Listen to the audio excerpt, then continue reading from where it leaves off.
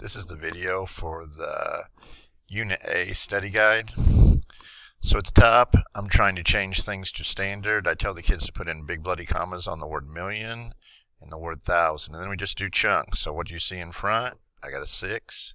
I have my comma. 294. My comma for thousand. 512. Trying to make my pen just a little smaller. Uh, 700,036, there's a comma word, 1,000. In front I got 700. After it I got 36, but it has to be a three-digit chunk, so it's going to be 036, because I got to have three digits after the comma. Uh, when I have this kind expanded to standard, I just start with the ones place. I see I got a 2 in the ones. There's nothing in the tens, so that's going to be a 0. I got a 4 right there in the hundreds, a 5 in the thousands, and an 8 in the 10,000. So that would be 85,402. Come over here, try this one the same way. Looking for ones, I got a 5. There's a 9 in the tens, a 7 in the hundreds, a 2 in the thousands. There's nothing in the 10,000, so that would be a 0. And then I got a 400,000 at the beginning. Be careful on these kind because I don't always put them in the right order, but I'm doing the same kind of thing. I'm looking for ones. I have done. I have two tens. There are six of the hundreds, nine of the thousands, and five of the ten thousands. So that number is 59,620. Oh, here's that one I was talking about being tricky. Three ones, so I got a three at the end. There are no tens. There are five hundreds. No thousands, no ten thousands, no hundred thousands, but we do have six in the millions. So six million five hundred and three. Over here, no ones. I got nine tens, no hundreds, and one in the thousands, 1090.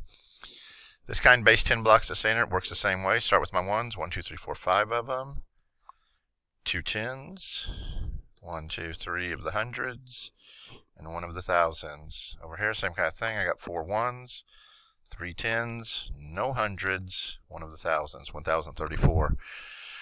Uh, we're writing the number in expanded form. Okay.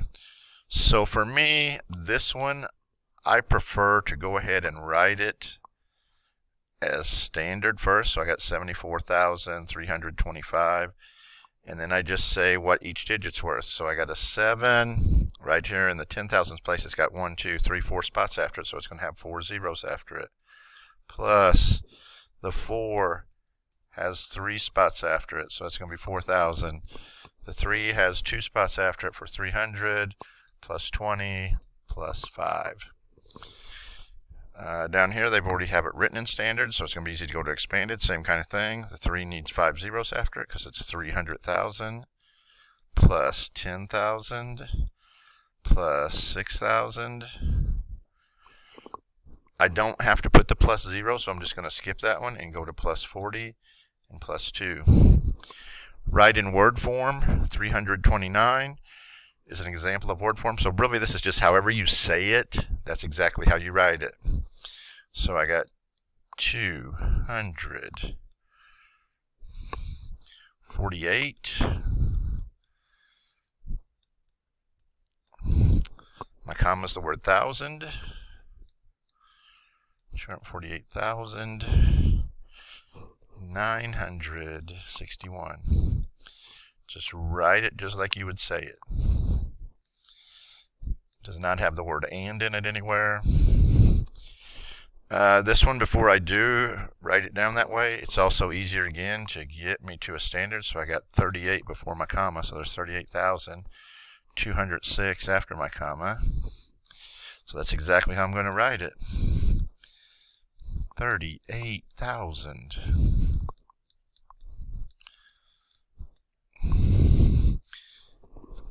Two hundred six.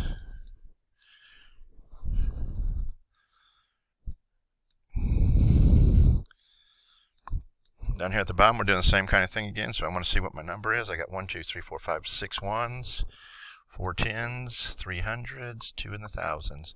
And I just write it that way. 2,000, 300. And remember to make sure you write them all in words. I almost put the number 3 there. 46. Alright. Scroll up here.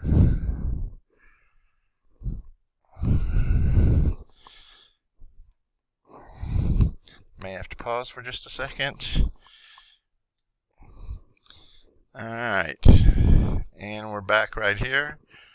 I want to tell what the 4 is, the 4 what place it's in. So the ones place and the tens place, the hundreds and the thousands. So he's in the thousands place.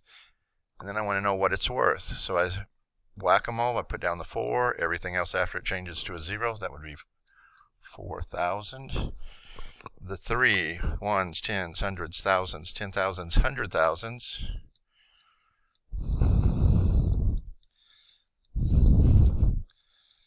And then I write the number down, change everything else to a zero. So a 3 in the hundred thousands is going to be 300,000, just like it sounds. Draw the base 10 blocks for 2,518. So I'm going to need two of the cubes. So there's my 2,000. I need five of the hundreds. They're all the big squares. Three, four, five. 110, I tell the kids they can just write it as a line, and then the 8, 6, 7, 8. Come over here, draw the base 10 blocks for 1053. So I need one of the cubes. Uh, 1053, there are no 100s, so I don't need any of those. 1, 2, 3, 4, 5 of the 10s, and 1, 2, 3 ones. Down here when I'm comparing, I check the part before the comma, 127, 127, they're equal. Go to after the comma, 345, 534. 534 is bigger. Same thing on this one, 375, 375. 98 is going to be larger than 89. On this part, I like the kids to go ahead and work it out really fast, just so they can, they can see which one's bigger. And over here, I got four digits, so I got a six here, and there's a zero in the thousands on that side circle the greatest number. So I'm checking the first parts out. 354, 354, 345. He would be smaller. 345, he would be smaller. So I'm rid of those two. 602, 620. There's my winner. Looking for the smallest. Well, these two guys both have six digits, so I can get rid of them. 90,000, 84,000. On the back, why is the 3 worth, why is the 3 in this number worth more than the 3 in this number? Well, because this 3 is in the 10,000s place, and this 3 is in the hundreds place. So this is really 30,000, and that one's really just 300. And hopefully you'll be ready for the test tomorrow.